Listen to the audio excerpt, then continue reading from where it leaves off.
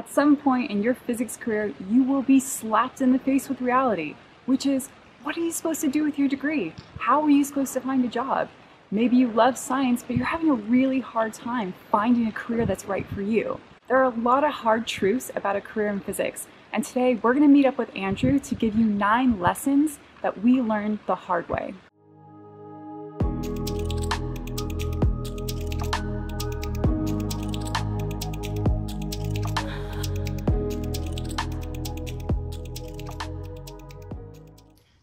Everyone, my name is Jena Meinecke and I'm a junior research fellow at Christ Church College at the University of Oxford.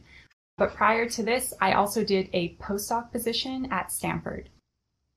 Hi, I'm Andrew Princep. I am the Keeley Rutherford Junior Research Fellow at uh, both Wadham College, Oxford, and the Rutherford Appleton Laboratory. So, our very first tip is to be flexible with your career plans. Pursuing a career in physics is not a linear process. There are some people who make it look really easy, where they go from point A to point B, and you just think, wow, they have life figured out.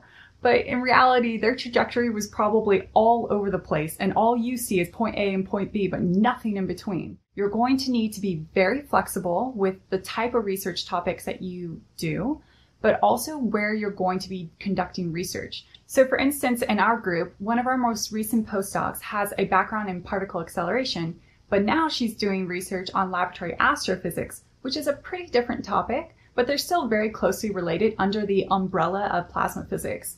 And so as a result, in my opinion, she's becoming an even more appealing candidate for jobs because she has a huge distribution of skills that she's building up. Our second tip is to seize any opportunity which is available.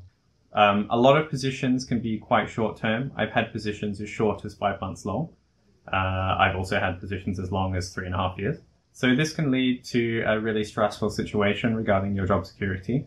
It is also really important to think about your job security, your personal financial security, more than it is to think about the convenience of the people who currently employ you.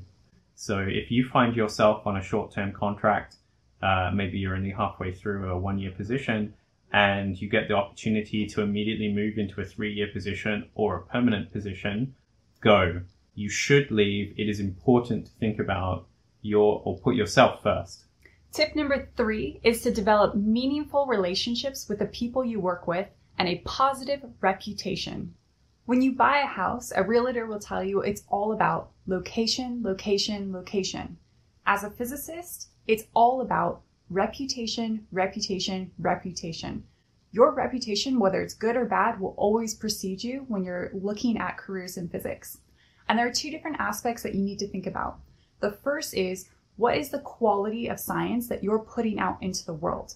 If you're a great quality scientist, you do great work, you publish great papers, that will precede you. People will know that you're a wonderful scientist and they will want to have you at their company. The other thing that a lot of people underestimate is how important it is to be a great scientist to work with.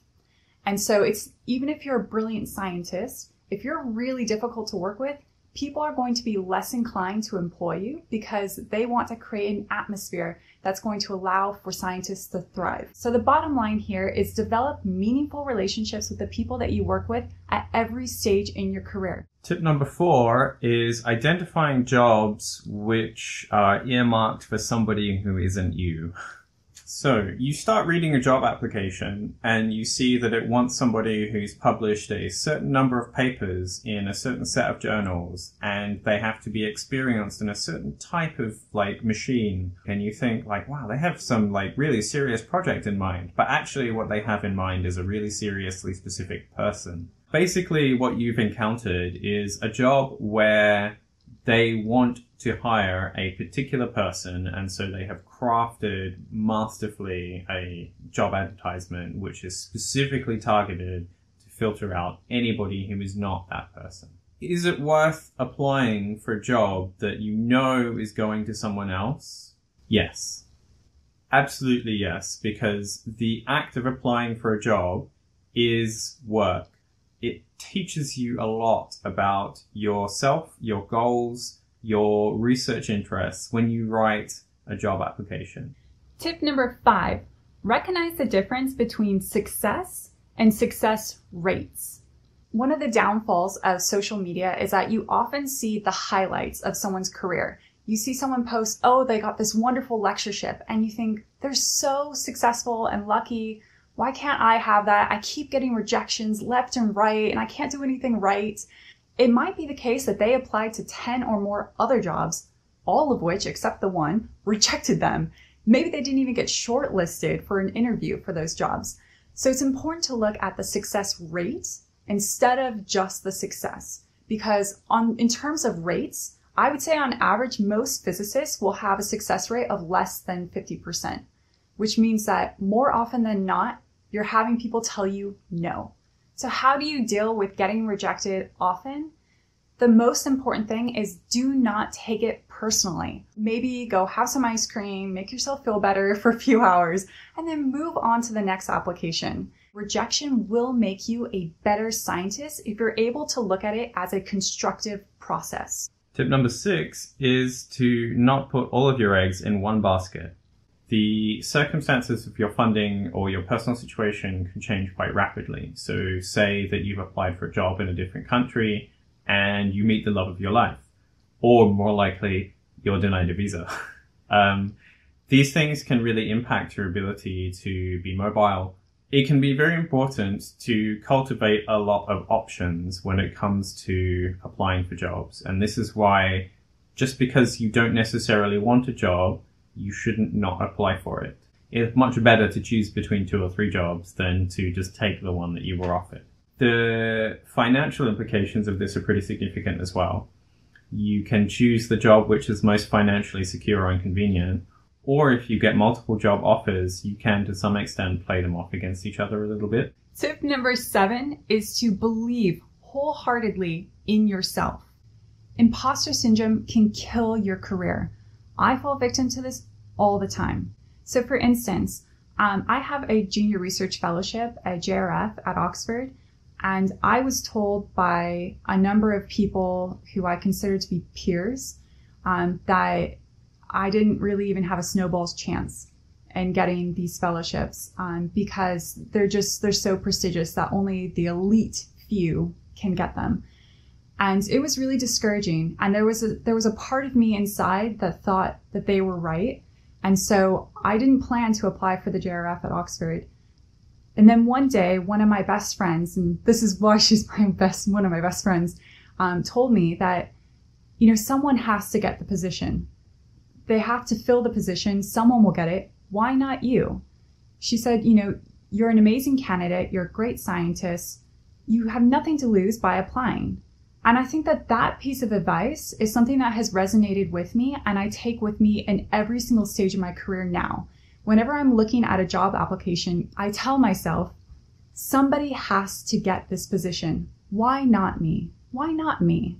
Tip number eight is to try new things.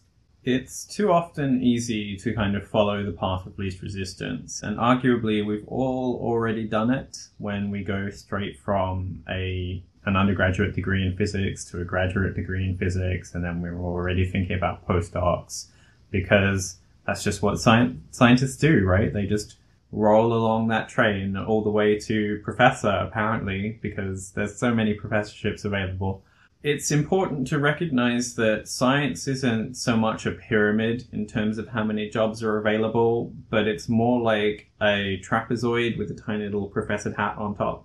You have to think, like, how much does a career in physics or science or academia really mean to me? because it's very difficult to pursue. Uh, the number that really stuck with me is that someone has the exact same chance of going from Little League soccer to playing in the World Cup as they do from studying physics in high school to being a professor of physics. You absolutely shouldn't be afraid to try something which is different or which is radically different lots and lots of the PhD students who I've worked with over the years have gone into careers which I didn't even know were possible, but now I advertise as widely as possible. So they've become patent lawyers. They've gone to work for Google writing software. They do data analysis for leading companies around the world, sometimes working on problems like, uh, how to manage the homeless problem in London, for example, using big data. It's also important to really internalize the message that in doing that, in going into industry, into the wider world outside of academy, the academy, you have not made a mistake. You have not settled for second best. You have not failed as an academic. The job that you do, the work that you do, the achievements that you make outside of academia are as valuable, if not more, in many cases much more valuable than any research that will be done fundamentally by anyone. So few people in academia make a contribution that changes the world. Lots of people in industry change lives on a daily basis. And our last tip, tip number nine, is that it is okay to take career breaks in physics. In physics, there's this common misconception that you cannot take career breaks, and that if you do, science is going to move on without you, and you're going to be left thinking, well, now I don't have a career anymore. But that's anything other than true. So from a personal point of view, um, I took many weeks out um, a few years ago just for health reasons. I just needed to have some space and to make sure that I took care of me for a while. And I thought, honestly, that by leaving for a few weeks, all my experiments would get taken over by other people and that I would lose ownership of a lot of my publications. And to my surprise, when I came back, literally everything was exactly the same. All of the emails were exactly the same no one had moved forward on any of the work, which was perfect because then I could just pick up where I had left off. And if you want to take an even bigger break to, for instance, work on a family or work on your health or whatever you want to do, take those kinds of breaks. If you need it, do what's right for you because at the end of the day, it's just a job.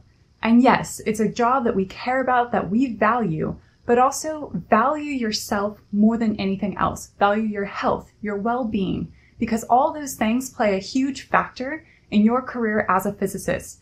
If you are happy with who you are, then that will show in the research that you do. We hope you found this advice helpful, and if you have anything you want to add, please feel free to leave it in the comments below. Remember, a career in physics isn't always easy and linear. You are not alone. Stay confident and believe in yourself. There is a perfect career out there for you, and we really hope you can find it.